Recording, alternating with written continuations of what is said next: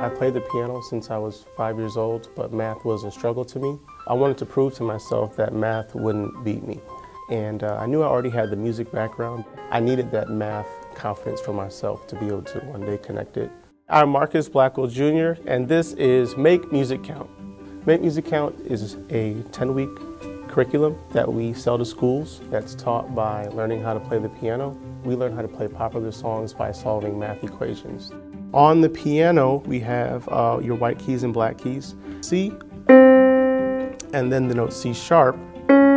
That movement is called a half step, moving from C to C sharp. C plus half, which means you would move a half step, and where you end up is C sharp, your answer. One of the great takeaways is that um, the students, in most cases, have never played the piano before. But We're able to teach them a new concept by applying these math subjects here. Yeah! And um, that's what I think success is. All right, guys, give yourselves a hand. Woo!